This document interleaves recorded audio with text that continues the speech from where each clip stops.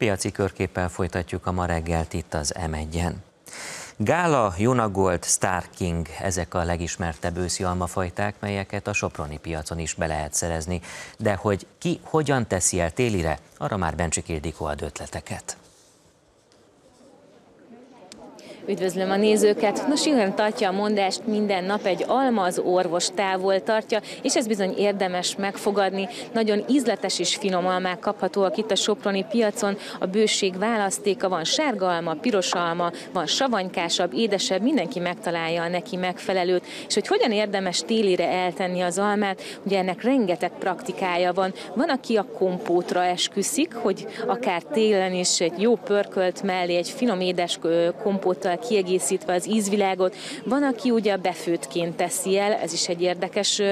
Van, aki jamként, tehát le, ledarálja, lepépesíti, és jamként rakja el, így akár kenyérre, pirítósra is kenhető, és egész télen fogyasztható. De amit például az én gyerekeim nagyon szeretnek az utóbbi években, az almának az asszalása. Ezt nagyon vékony szeletekre kell ilyenkor felvágni, és akkor vannak asszalógépek, amivel gyakorlatilag alma chips készíthető, és hát ennél finomabb finomabb és egészségesebb nasolni valót keveset ismerek, nagyon szeretik a gyerekek is, de a felnőttek is.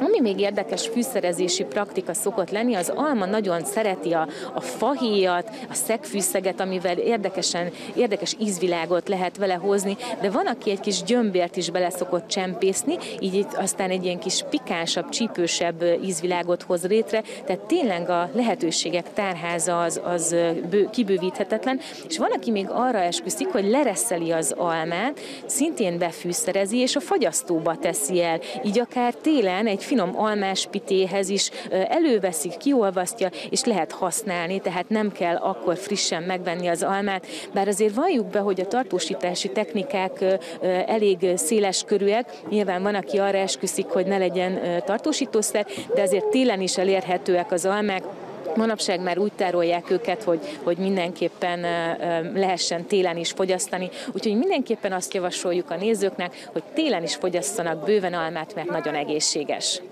Bencsik Ildikó, nagyon szépen köszönjük.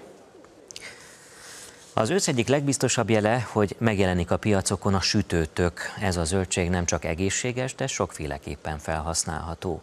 Ráadásul egészen tavaszig vásárolható, például a Debreceni nagypiacon is. Pálfi Andrea mondja a részleteket a helyszínről. Jó reggelt kívánok! Valóban a sok zöldség, zöld és piros között megjelent a napsütés, tehát a sütőtök is itt a Debreceni nagypiacon, ahol most állunk, ott éppen Hajdubagosról, tehát a környékről érkezett, és kétféle is van. Megtudtam, hogy a világosabb, az egy kicsit parázsabb, mogyoróbízű, a sötétebb az pedig krémesebb, az viszont kevésbé hosszú ideig tartható el. A világosabb az egészen tavasz tavaszig akár az erkére kirakva is friss marad, és hát miért is együnk sütőtököt. Megtudtam, hogy már a 16. században, tehát az 1500-es években megjelent Magyarországon ez a zöldség, azóta termelik és fogyasztják, hát a legegyszerűbb természetesen megsütni és megenni, bár már ezzel is lehet variálni, mert van, aki cukrot tesz rá, más akár egy kis sót és olívaolajat, de csinálhatunk belőle levest, édesen, sósan, köretet, akár a krumplipürét ki lehet váltani sütőtökkel, olcsó, egészséges, miért is egészséges, tele van C-vitaminnal, van benne vas, foszfor, kálium, mangán, ez utóbbi magnézium, ez utóbbi kettő miatt egyébként vízhajtó hatású és vérnyomás csökkentő is, tehát itt van az ősz, jönnek a ködök, jönnek a hosszú éjszakák, a sütőtök illata viszont mindezen segít, és csatlakozom Ildikóhoz az előbbi ezügyel, felsorolta, hogy az almához milyen fűszereket lehet tenni, hát ugyanez szegfűszeg, fahéj, az a sütőtököt is nagyon finomá tudja tenni. Pálfi Andrá, nagyon szépen köszönjük. A burgonya a legsokoldalúbb zöldségféle. A régi időkben nem véletlenül nevezték a szegények eledelének, hiszen nagyon sok recept alapanyaga, és ráadásul szinte minden kiskertben megtalálható.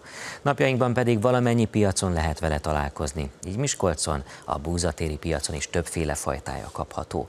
Embíró Lizát kapcsoljuk. Valóban nagyon sokoldalú zöldség a krumpli, a burgonya, nem csak sárga színű, hanem például piros színű is kapható, és gyakorlatilag a színek azok azt is mutatják, hogy főzni vagy sütni való maga a burgonya. Itt most a buzatéri piacon a piros burgonya előtt állunk. Érdemes egyébként megkérdezni az eladótól, hogy mire is jó az a burgonya, amit vásárolunk.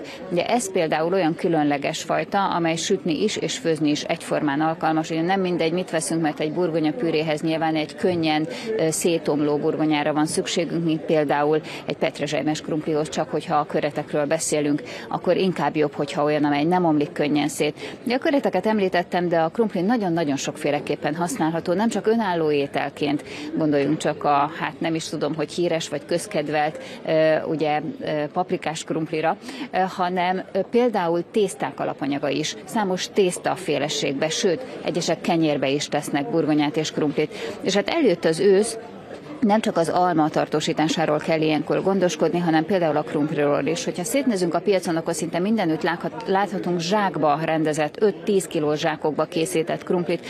Ezt ugye gyakorlatilag azért lehet így vásárolni, hogy ilyen nagyobb mennyiségben lehessen eltenni télen. Akiknek mondjuk kis kamrájuk van, azok ennél nagyobb zsákot, hát felesleges, hogy hazavigyenek, mert nagyon-nagyon macerás és nehéz egyébként a krumplit eltenni télére.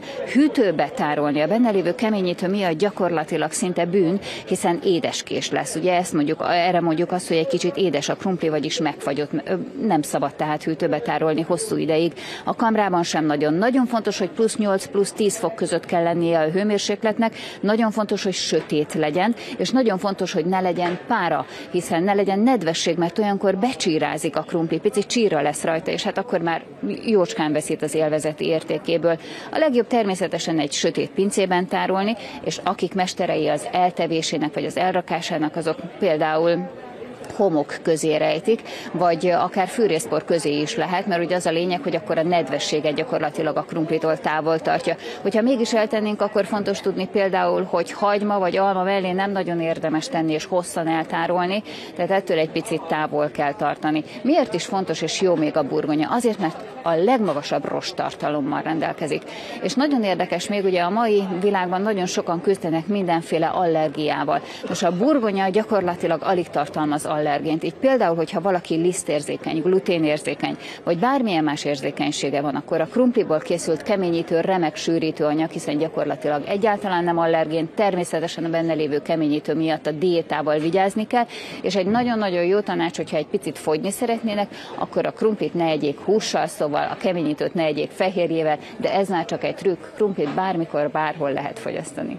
Embíró Liza, nagyon szépen köszönjük.